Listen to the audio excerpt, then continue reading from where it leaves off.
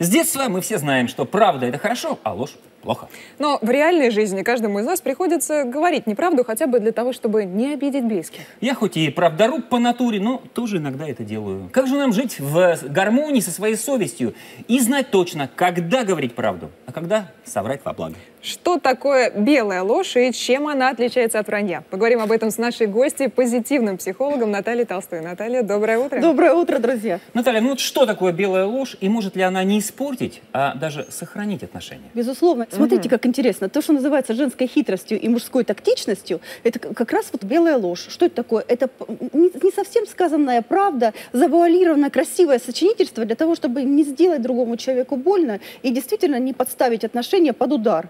А ложь – это оружие хамов. Да. Хорошо, но все-таки где-то тонкая грань между белой ложью и враньем. А то сейчас люди подумают... Сейчас ну... объясню. Смотри, когда тебе задают вопрос и говорят, что «послушай, ты говорила о том, что ты любишь жареную картошку, а оказывается, ты ее не любишь». Если ты можешь аргументировать и сказать, что были времена, когда э, любила, а теперь разлюбила, когда ты сможешь полностью реабилитироваться и вся белая ложь отстроена отлично от тебя, тогда она белая. А когда она касается другого человека и когда она ранит, тогда это точно вранье. Угу. Ну, давайте разберем конкретную ситуацию. Вот, допустим, кто-то собирается выйти в свет со своей спутницей. Спутница, мягко говоря, выглядит уставшей. Угу. Что делать? Сказать, что ты сегодня как-то не очень мне нравишься?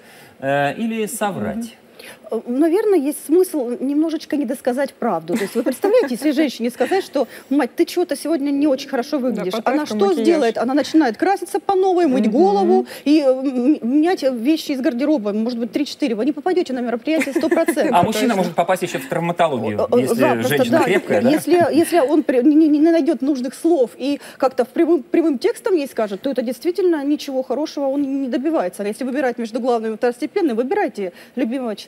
Наташа, еще более сложная ситуация. Добавляя градусы. Давай. Не нравятся родственники второй половинки. Ой, вот что делать? Да, вот здесь все-таки про правду матку или все-таки Одна применять из психозанос, ложь? действительно, когда еще пара только начинает встречаться, даже если они не вместе, еще не муж и жена, первое впечатление, допустим, дама съездила к родственникам мужа и говорит, нет, я босая, пешком отсюда уйду, это вообще какой-то исчадие ада, я не смогу с этими людьми быть. Если выбирать между тем, как, как сейчас строятся ваши отношения, и ты смотришь на их родственников, тоже выбирай отношения. Нужно сказать, что это твои близкие, мы их никогда не, ну, никуда не денем. Сейчас ты уже стал взрослым, мы чем сможем, будем помогать. Ну, часто ездить, я думаю, мы не будем. ну, то есть просто как-то минимизировать общение. Да. Угу. Ну, вот смотрите, например, жена старалась, готовила коронное блюдо, мужчины знают эту ситуацию.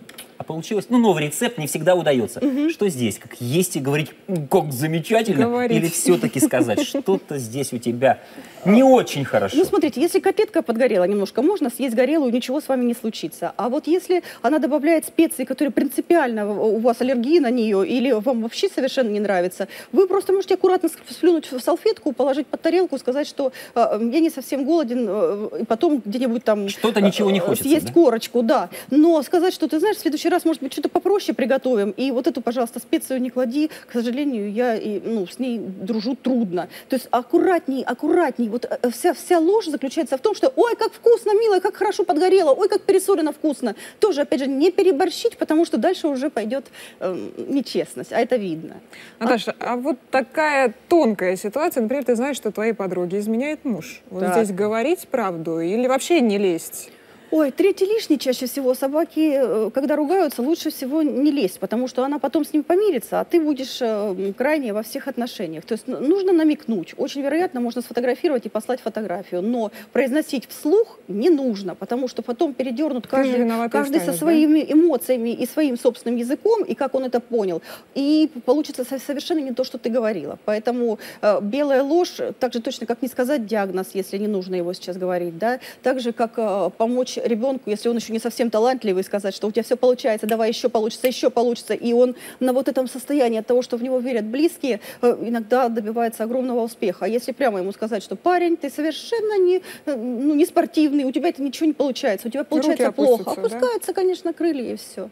А, Наташа. А бывает ситуация, слушайте, это когда, допустим, или подружка, или женщина очень много бла-бла-бла-бла-бла рассказывает каких-то небылиц. Вот иногда, когда разговариваешь с таким человеком, и тебе хочется сказать ему правду всю, что ты по этому поводу думаешь, надо понимать, что подружка, которая привирает много. Может быть, это ее какие-то большие мечты, и она пытается тебе рассказать. Ну, потерпи, тебе разве трудно? Есть такой специальный анекдот, когда встречаются две подруги, одна другой говорит, слушай, а мне мой купил дачу в Аргентине. Вторая говорит, великолепно. Mm-hmm. Он говорит, купил мне сюда и, и сюда вот по карату. Она великолепно. А еще обещал мне машину там, великолепно. Он говорит, что ты заладила одно и то же слово? Она говорит, я пошла в институт благородных девиц, нам там, нас там научили вместо слова не бреши говорить великолепно. То есть иногда можно таким образом подать э, свою правду, что она будет как красивый рассказ, как правильная, верная подача для того, чтобы сохранить искренние, хорошие отношения. В любом случае, мне кажется, что белая ложь – это одна из частей доброты, когда тебе просто в данный момент совершенно не хочется портить отношения, и тогда ты просто чуть-чуть не договариваешь, а не досказать – это не соврать. Угу. Ну что ж, Наташа, спасибо большое за полезный, наверное, очень нужный для всех разговор. Хорошего дня. Всем любви и добра. Пока.